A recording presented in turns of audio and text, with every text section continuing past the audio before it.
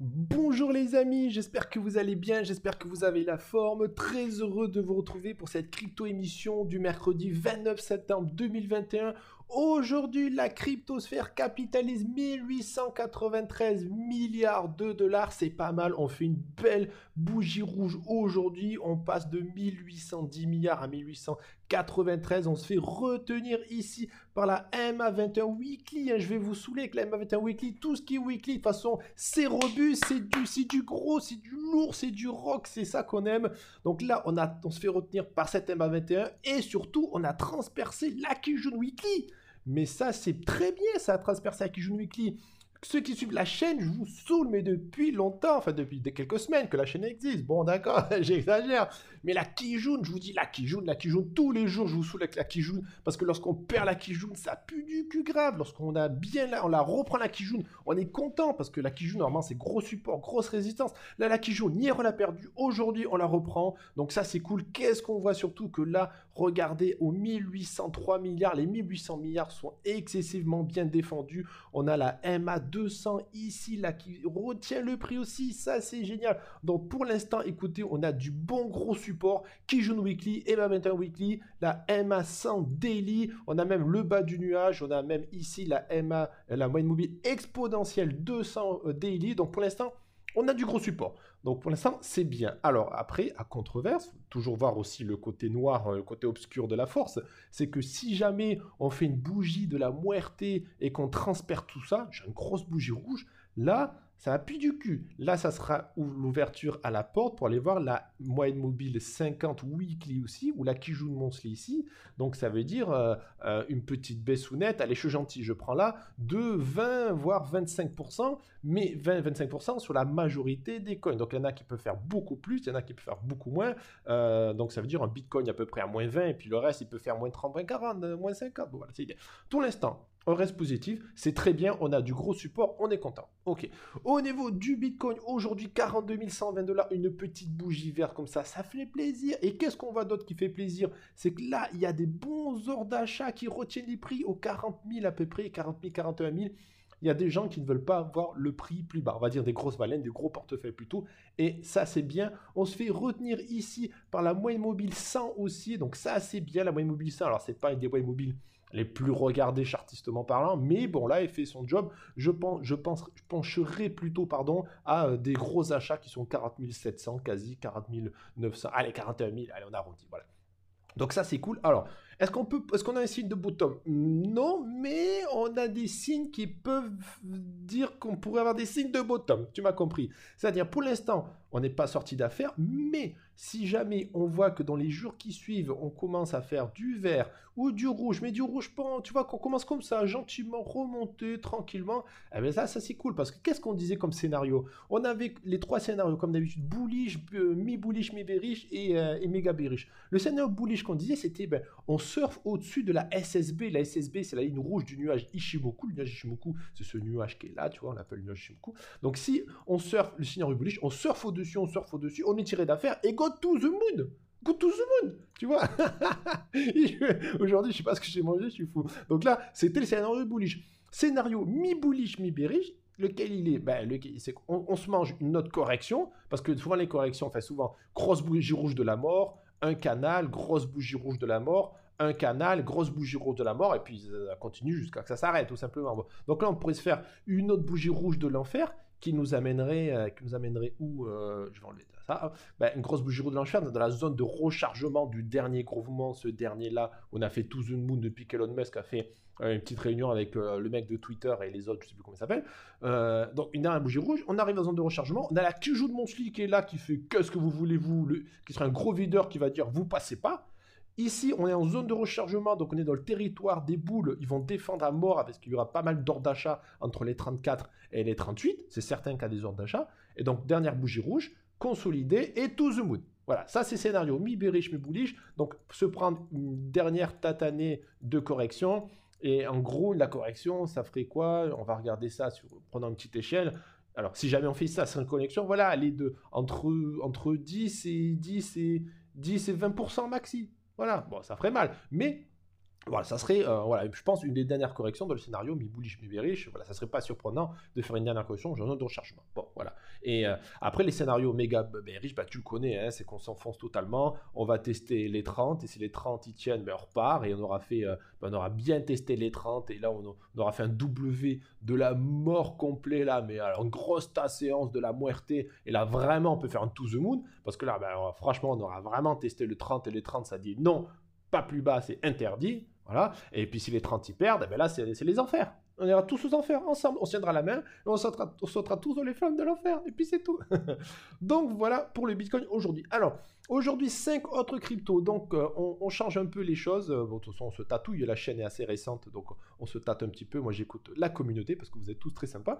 Donc on a dit cinq cryptos différentes par jour. Donc euh, le, lundi, c'est le gros brief du Bitcoin avec l'order flow, l'order book, tous les indicateurs. Donc le lundi, c'est après le week-end, c'est la totale Bitcoin. On regarde la macroéconomie, on regarde tout. Les mardis, mercredi, jeudi, vendredi, on fait le Bitcoin et on fait à chaque fois 5 cryptos. Hier, on a fait euh, le TH, ADA, BNB, XRP et Solana. Et aujourd'hui, on fait euh, DOT, le Dodge, l'Uniswap, le Luna et le AVAX. Voilà, c'est l'idée. Et puis demain, 5 autres cryptos. Voilà, voilà t'as compris l'idée. Bon, et les cryptos, je prends les plus grosses capitalisations. Là, par exemple, ça sera le top 30 euh, plus grosses capitalisations. Si tu as envie de voir une crypto, n'hésite pas à le mettre. Je veux voir cette crypto-là. Et puis, on peut la faire. Il n'y a pas de problème. Voilà, on est tranquillou entre nous.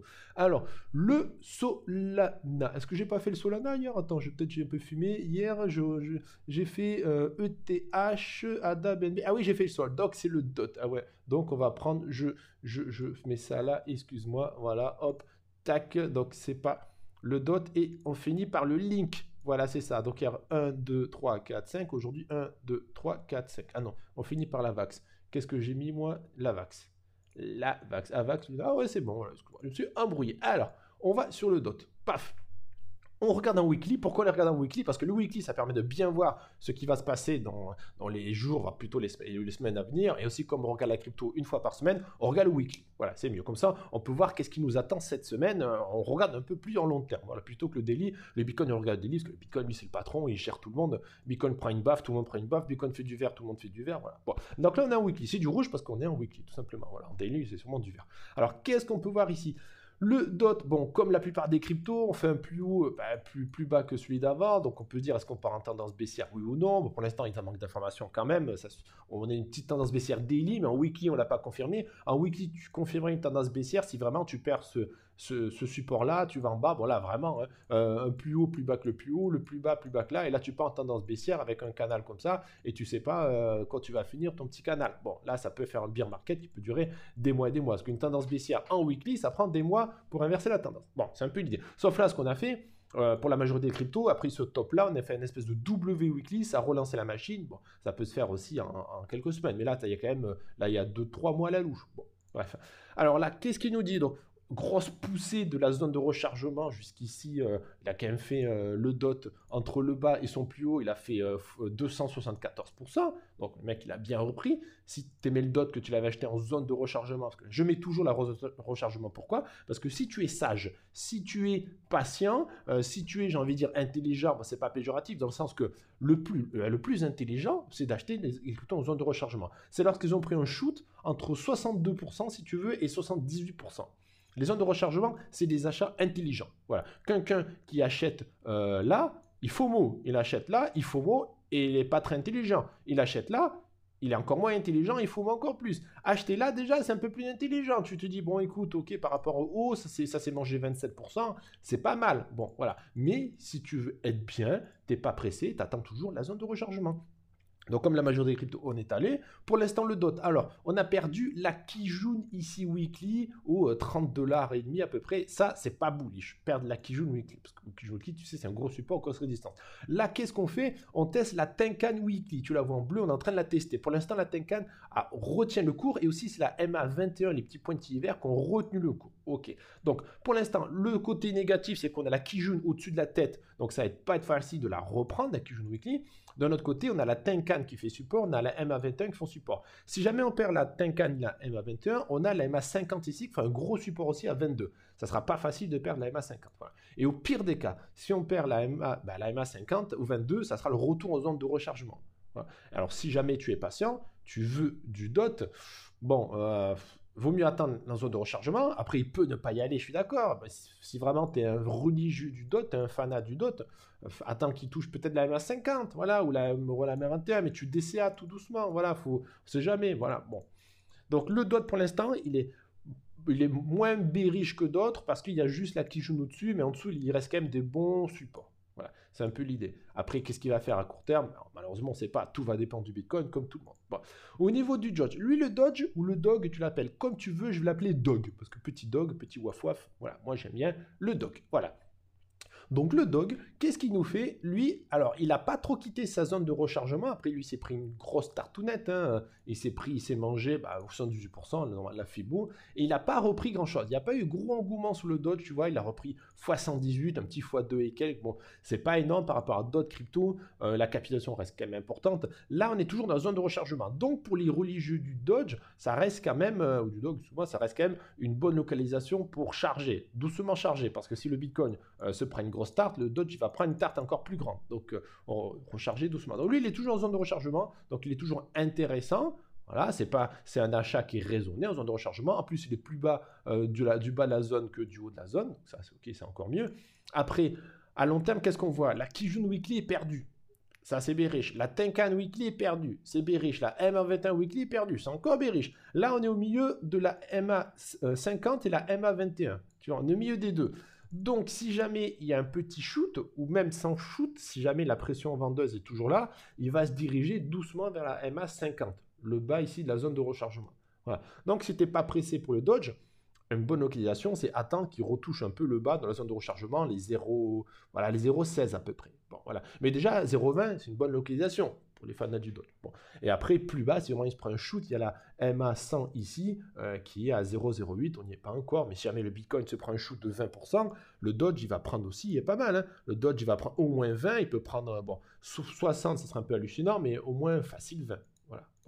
On verra bien. Alors, si le Dodge, pour ceux qui veulent savoir si le Dodge va être bullish ou pas, euh, le problème, c'est que même si le Dodge commence à être bullish, la MA21, il faut la casser. Il faudra casser sûrement la SSB parce que là, les bougies vont taper sur la SSB. Bon, d'accord. Après, il faudra péter la Tenkan. Et pour faire tout the moon, il faudra taper la Kijun. Donc, le Dodge, il faudra vraiment euh, de la pression acheteuse pour euh, faire un to the moon. C'est plus compliqué pour le Dodge que pour d'autres de faire to the moon. c'est un peu mon avis perso, bien sûr. Tout ça, c'est que mon avis perso. Au niveau de l'Uniswap, alors l'Uniswap, lui, il a fait une belle petite poussée. Il est rentré en zone de rechargement. Il a, été pas mal racheté ici dans les 16, dans les 15-16 dollars. Voilà, il y a des gens qui veulent pas voir l'Uniswap en dessous même des 16 dollars, hein, concrètement.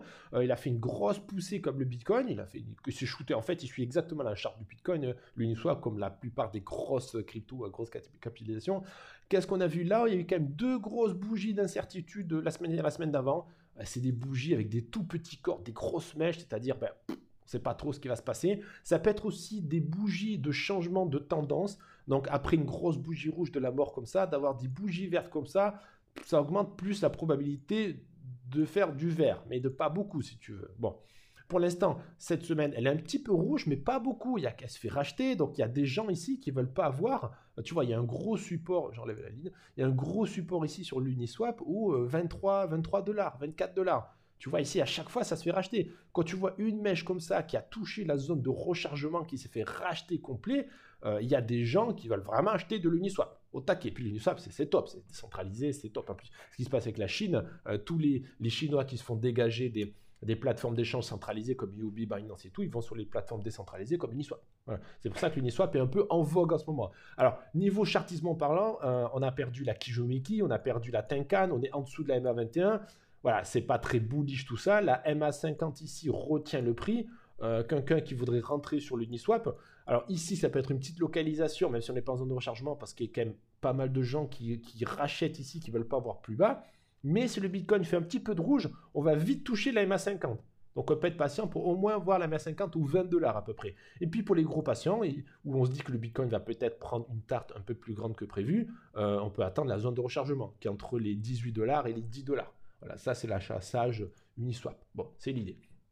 Au niveau du Luna, donc le Luna to the Moon, hein, Luna to the Moon. Euh, j'ai pas fait hier le Luna, je m'appelle plus. Bon, écoute, j'ai fait hier le Luna, tu m'excuseras, mais je ne pense pas. Euh, hier, euh, qu'est-ce que j'ai bien fait? Ada, BNB, XRP, Sol. Est-ce que j'ai fait le Luna? Ah non, c'était le Sol. C'était le Sol to the Moon que je l'appelais. Voilà, le Sol to the Moon et aussi le Luna to the Moon. Bon, Luna to the Moon, alors là, il a fait un truc de fou. Il a fait un truc de fou. Voilà, un gros to the moon énorme. Et ce qui est hallucinant, c'est que il se fait racheter. Il y a des gens qui veulent pas avoir le Luna en dessous des 32 dollars, 33 dollars. Regarde-moi cette méchouille ici qui s'est fait racheter complet.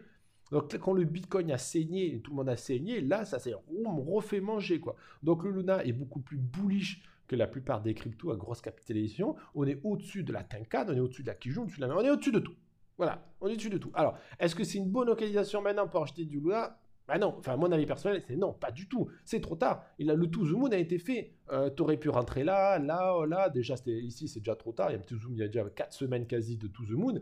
Euh, mais là, il, là, il, a fait, là, il s'est fait, fait, un bull run, si tu veux. Voilà. Là, le Luna, il s'est fait un bull run tout seul. Voilà, c'est son bull run à lui. Euh, maintenant, après un bull run, la plupart du temps, quand tu vois ça, bon, c'est pas top top. Moi, je rentre jamais là parce que là, il y a du retracement du Luna. Il a fait un To the Moon trop grand.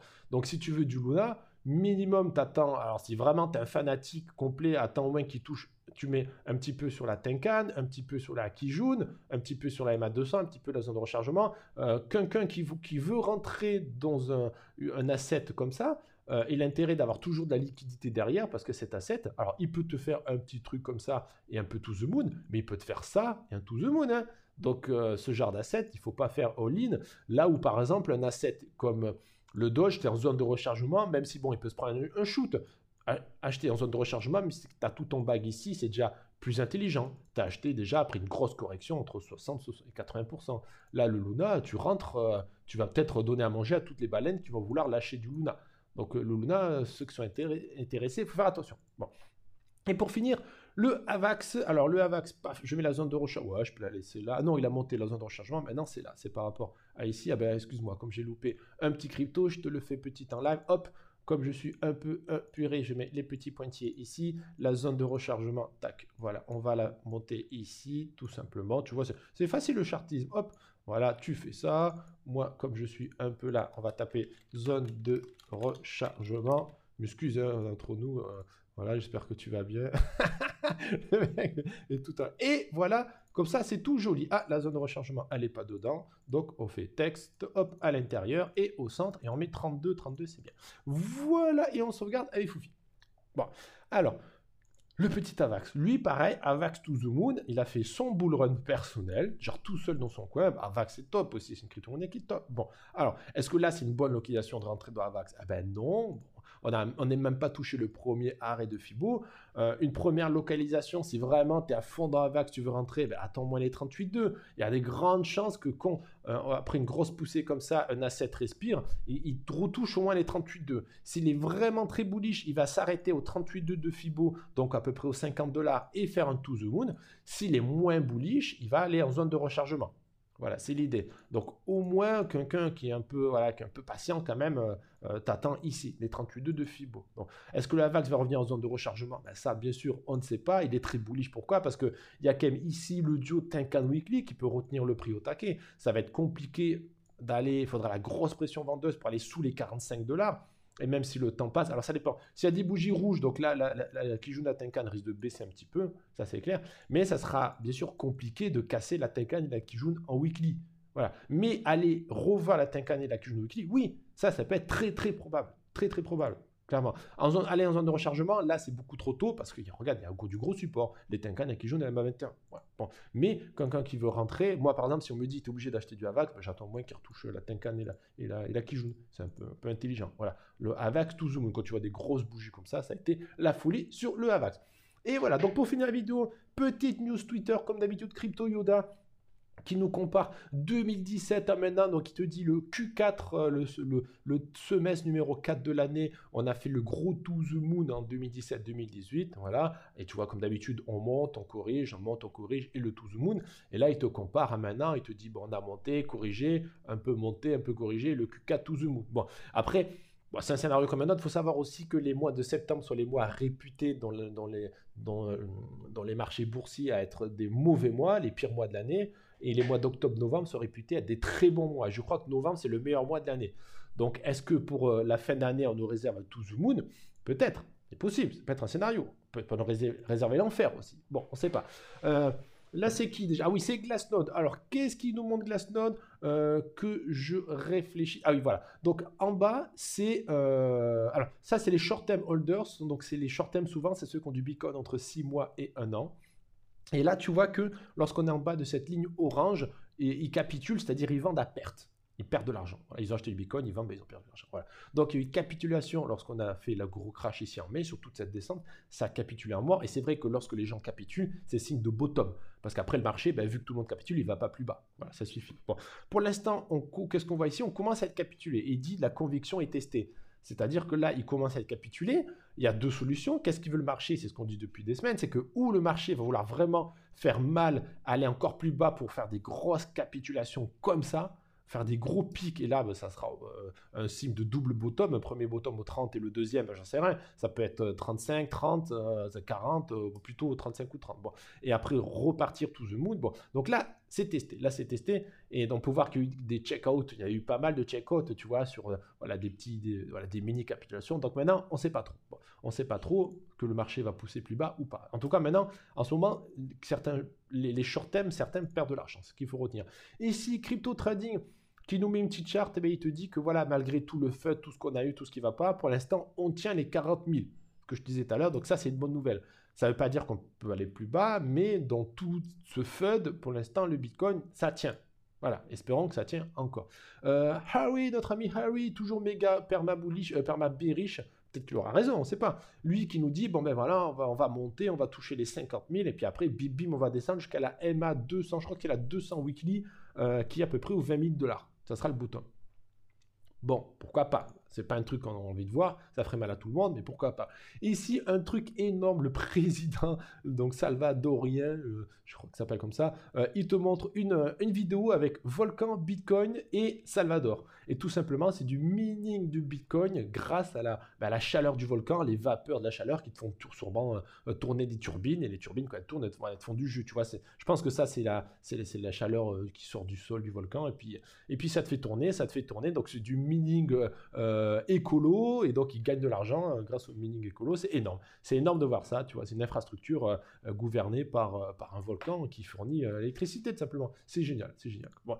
Kingfisher, des liquidations, ça fait longtemps qu'on les a pas vu, c'est très intéressant. Alors qu'est-ce qu'on peut voir? Alors bien sûr, c'est pas très très bullish. Pourquoi? Parce que on a des grosses liquidations. Alors on a 40 000, un bon pic, on a 37 000, encore un pic encore plus gros, 34 un pic encore pas mal, et surtout à 30 000, on a un pic gigantesque de longue, quoi, gigantesque. Et ça, bon, si le marché veut faire capituler tout le monde avant de repartir euh, fort, ben, il y a des chances qu'il aille toucher les 30 faut pas se voiler la face, il peut toucher les 30 facilement, et voire même descendre un peu plus des 27-28 pour manger tout le monde, et après faire un to the moon rapidement, tu vois. Parce que lorsque tu vois des pics de liquidation, si on est à la chasse de liquidation, ben, il va plus vouloir aller en bas qu'en haut. Hein. En tout cas, c'est ce qu'on voit par rapport au pic. Espérons qu'il n'aille pas trop bas une vidéo trop trop marrante où tu vois un trader qui se fait dépasser par tout ce qui est news, les FUD et le Lucky Trader, lui qui, arrive à gagner, euh, euh, voilà, parce qu'il est là, c'est le Lucky. Et puis après, le truc trop marrant ici, c'est le, holder long terme, le holder qui se met en position, qui pédale même plus. Et le holder, il passe devant tout le monde. Alors le Bitcoin Archive qui te dit juste hold, voilà, la victoire est assurée. Et oui, il y a vraiment des statistiques qui montrent que les holders se mettent mieux qu'un trader, parce que le trader, c'est vraiment bah, ça aussi beaucoup. Hein. Tandis que là, tu vois, les, les yeux, il dépasse même le vétéran trader qui est en scooter. C'est énorme. Donc voilà, all day, all il n'y a pas photo. All day, statistiquement, c'est prouvé. All day, c'est le meilleur truc pour euh, gagner de l'argent. Ceux qui ont gagné beaucoup d'argent dans les cryptos, c'est ceux qui ont acheté de la crypto il y a un an, deux ans, qui sont complètement positifs, tout simplement. Tu avais acheté du Bitcoin il y a un an, tu es extrêmement positif. Ouais, tu t'en fous des shoots parce que tu es, déjà tellement positif que ça peut faire même moins de 30, 40, tu t'en fous. Donc il faut holder. Voilà. Euh, Chef qui nous dit aussi que Elon Musk euh, a dit à la régulation américaine à propos des crypto-monnaies euh, ne faites rien, juste laissez faire les cryptos. C'est ce qu'il a dit. Voilà, en régulation. Donc c'est bien qu'ils disent un truc comme ça. Après, là, c'est parce que la, la régulation, on ne sait pas ce qu'elle va faire, malheureusement. Bon. Euh, qui nous tweet que ben, les holders entre 6 et 12 mois dans les short-term holders continuent d'accumuler. Les holders, donc euh, entre 2-3 ans, ils accumulent aussi un petit peu. Et après, les holders 3-5 ans ont repris une petite accumulation. Bon. Alors, ça, c'est OK, c'est bien. Par contre, il faut juste faire attention quand même, parce que les holders court, entre 6 et 1 an, euh, ça va être les premiers à lâcher s'il y a de la capitulation aussi.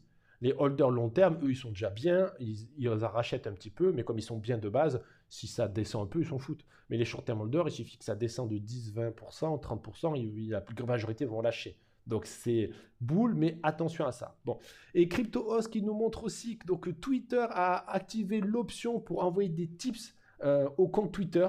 Donc tu peux envoyer des bitcoins via le Lightning aussi, que ce soit méga rapide. Donc c'est top du top, quoi. C'est vraiment top du top. Encore une application de plus sur le bitcoin et surtout c'est Twitter. Ça rigole pas. Bon. Cryptos qui nous dit qu'afin de différencier la concurrence, la néobanque britannique Revolut vient de lancer sa propre crypto-monnaie. Donc c'est énorme, une vraie banque en ligne lance une crypto-monnaie.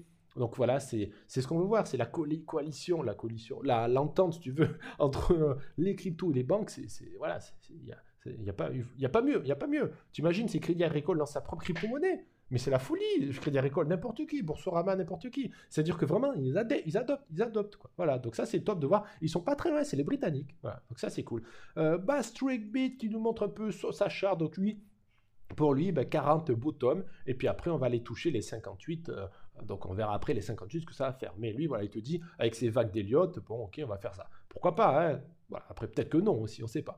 Alors, lui, ce mec, alors j'ai mis la charte parce que c'est hallucinant. Lui, il est franco. Lui, son long terme, euh, si tu veux, son, son, chartisme long terme, là, il a tracé une droite avec le bitcoin quand il était genre à 3000 dollars, ici 5000 dollars. Il t'a fait une droite, il te dit, voilà le vrai support, il est là, il est à peu près aux 5-6 000 dollars.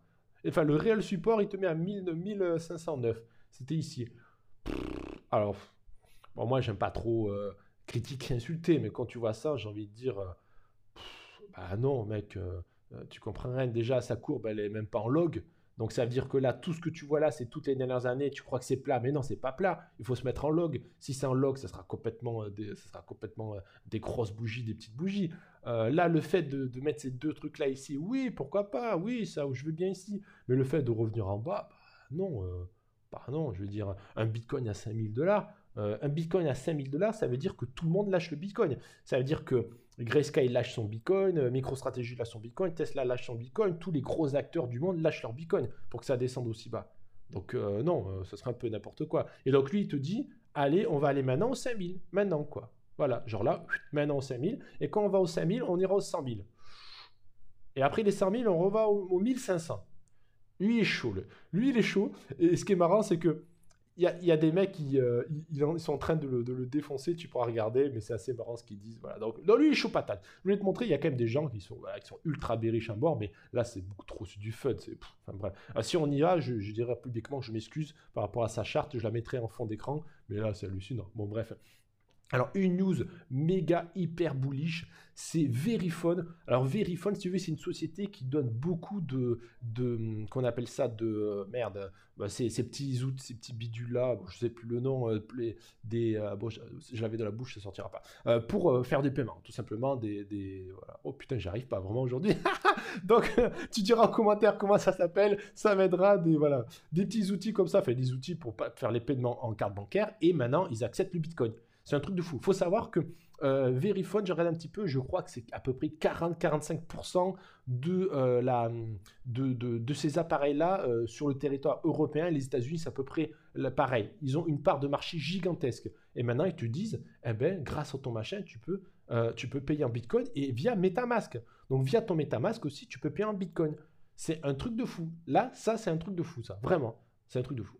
Ils ont une énorme part de marché. Ce seraient des, petits joueurs qui, ont 10%, 5%, tu dis bon ok, mais là ça touche euh, quasi la moitié de la planète, euh, pas très loin, allez 40%, c'est gigantesque, c'est gigantesque, voilà. Donc je pense que là vraiment on commence à aller vers du concret sur les paiements en crypto-monnaie. Et là il n'y a pas besoin de dire euh, oui, il faut réguler pour accepter machin. Non, quelqu'un qui a ce terminal de paiement, ah voilà, tu vois, j'arrive, voilà. Donc au terminal de paiement comme ça, ton, ton bureau tabac il a un terminal de paiement Verifone eh ben, s'il est, il met, une mise à jour, peut-être automatiquement, il pourra t'accepter le Bitcoin. Et comment ça se passe? Toi, tu payes en Bitcoin et lui, alors c'est euh, l'article, bon, il n'est pas là, j'ai vu un article, c'est avec Bitfinex, si je dis pas de bêtises.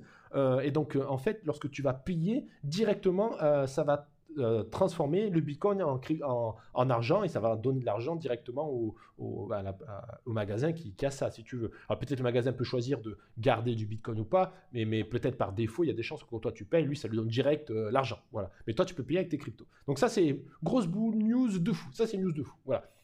Et pour finir, Bitfinex, alors c'est un truc de fou. Alors tout ce que tu vois en jaune, c'est des ordres d'achat. Ici, c'est des ordres d'achat. Et donc, a dit Bitfinex, il est en train de bouffer tous les BTC des paper hands. Les paper hands, c'est les mains euh, papier, c'est les mains faibles, c'est ceux qui vendent leur bitcoin parce qu'ils ont peur. Tu veux, voilà, c'est ça l'idée. Donc, ils ont déjà un bon tapis ici. Donc, ils rachètent tout ce qui va entre 40 000, même au-dessus de 40 000, hein, plutôt, plutôt à 40 800, 941 000. Et là, ils ont mis un tapis gigantesque d'achat. Gigantesque, en dessous des 40 000. Alors, ça peut être un vrai tapis d'achat, où vraiment Bitfinex rachète tout ce qui va en dessous de 40. Ça peut être aussi un mensonge, où ils ont mis ça pour montrer qu'ils achètent tout ce qui va à 40, et, que, et, après, ces ordres-là, ils vont les enlever pour que le marché continue de descendre. Voilà, ça peut être fourbe aussi, on ne sait pas. Après, il ne faut pas avoir du noir partout, bon, bien sûr, mais euh, on va rester bullish, on va dire ça c'est cool, mais faire attention. Bon, faire attention. Donc voilà, c'est tout pour aujourd'hui.